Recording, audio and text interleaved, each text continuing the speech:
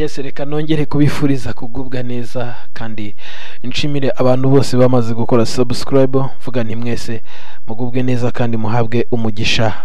Inkuru itangaje bishop rugagi innocent washinze itorero rye rya redeemed gospel church yavuze ko uburyo akomeje gukiza abantu barwaye indwara y'icyorezo cya coronavirus cyangwa se covid cumi n'icyenda yugarije isi muri iki gihe yifashishije ingero z'abatandukanye. Avuga ko bamaze gukira kandi bakijwe n'isengesho rye. Rugagi uvugwaho gukora ibitangaza bikiza indwara muri videwo yakwirakwije ku mbuga nkoranyambaga ati iyankoresheje hakira kanseri iyankoresheje hakira diyabete niyo iri kunkoresha kandi hagakira covid cumi n'icyenda.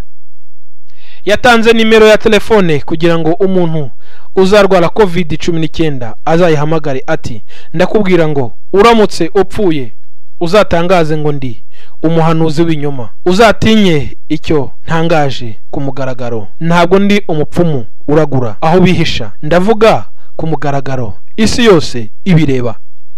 Uyu ni bishop rugagi innocent. Bishop rugagi innocent yakomeje avuga ko hari abamuhamagaye bafite covid cumi n'icyenda. Nabatumye abavandimwe babo gushaka ababasengera. Ati ariko ndashima imana mesaje ndazifite z'abakize iyi covid cumi n'icyenda. Ibitangaza byabaye ku buzima bwabo. Yatanze ingero z'abantu yibuka yakijije. Barimo uri mu bubirigi texas. Muri amerika n'undi uri muri afurika y'epfo.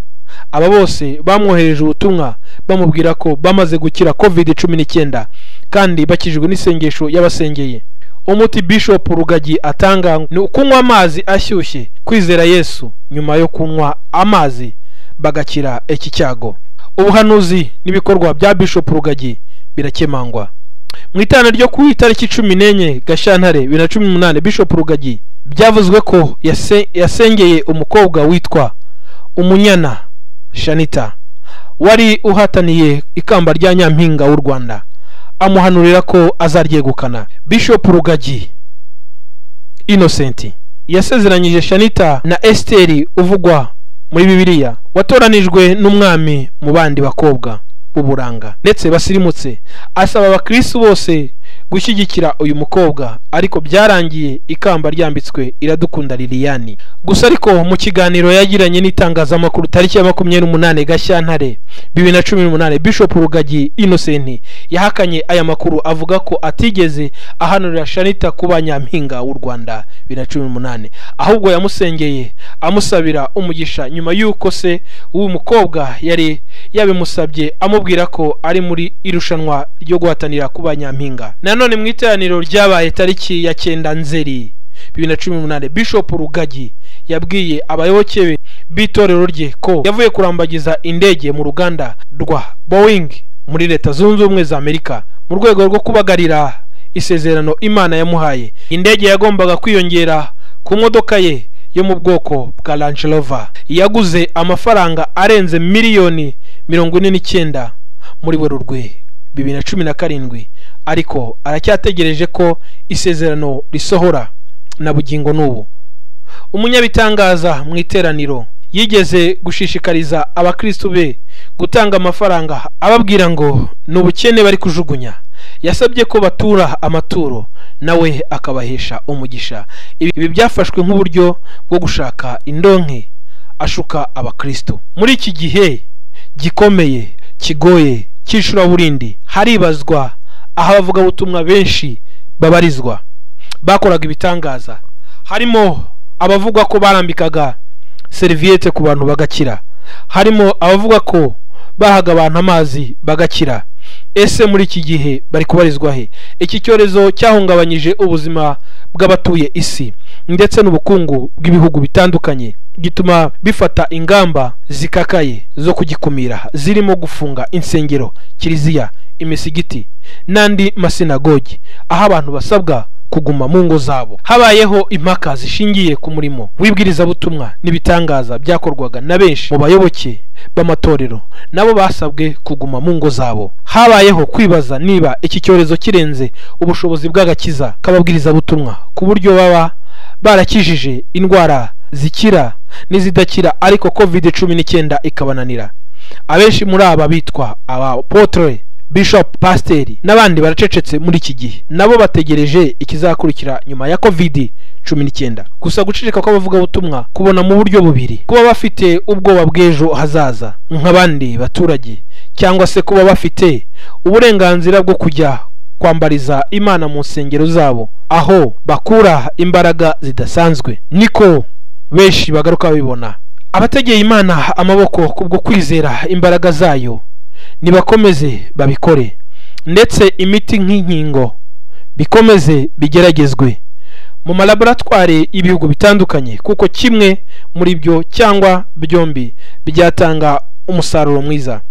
Icyorezo cya covid cumi n'icyenda kikaba cyaranduwe burundu. Hubahirijwe amabwiriza yatanzwe yo kugikumira mu buryo bwose. Ntago dukondana abitwa abapasiteri. Ntago dukondana abitwa abavugabutumwa. Ahubwo bo uruhare rwabo ni uruhe? Muri iki gihe cya covid cumi n'icyenda.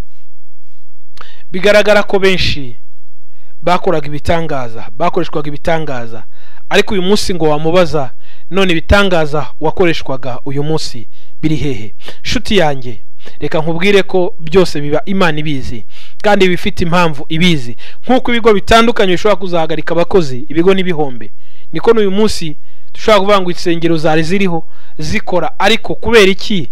Imana yemeye ko ibi biba. Ifite inyigisho yateguraga. Mbigarukaho buri munsi. Hari icyo imana yashaka kwigisha abantu. Na n'uyu munsi irimo irigisha wowe utari umuvugabutumwa.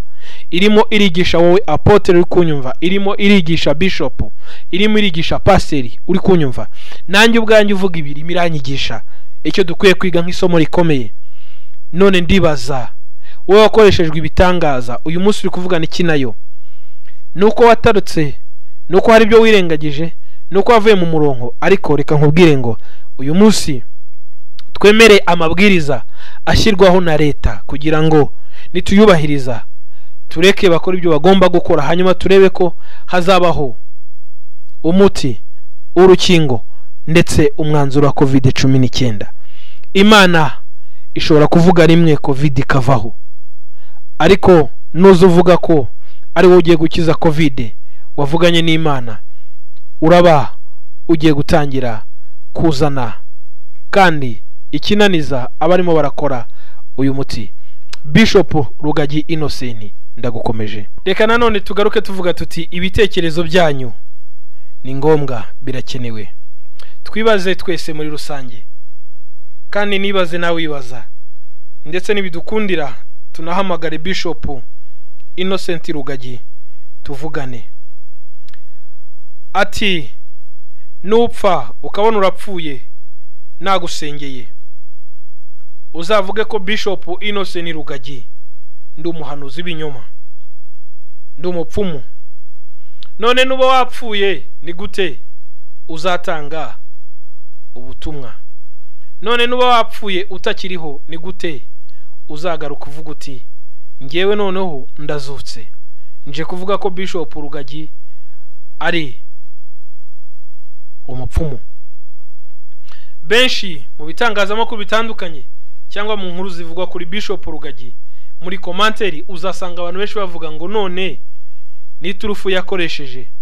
Nuba wapfuye nanjye ndacyabyibaza uyu munsi.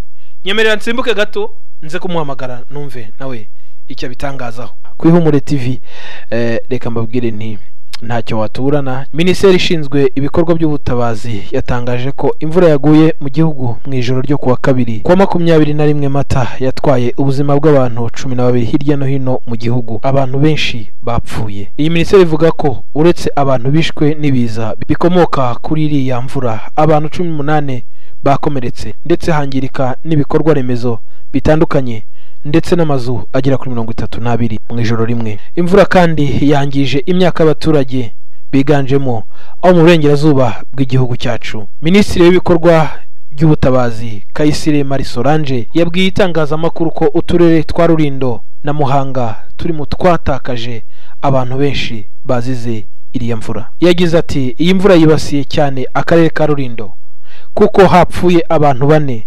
N'amazu arangirika. Muri muhanga hapfuye abantu batatu. Hangirika n'inzu nyinshi ndetse n'umuhanda urangirika. Minisitiri kayisire solange yavuze ko ibikorwa by'ubutabazi byatangiye. Uturere tukaba turimo gukora ibarura ry'ibyangiritse ngo abagizweho n'ingaruka bafashwe. Ku cyumweru nabwo imvura yaraye igwa yahitanye abantu batandatu mu karere ka gicumbi. Inahitana imitungo y'abaturage.